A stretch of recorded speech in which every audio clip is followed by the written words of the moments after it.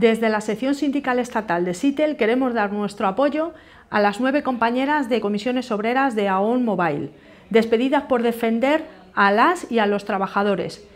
Que ellas y la empresa que las ha despedido sepan que desde su sindicato no vamos a parar hasta que sean readmitidas.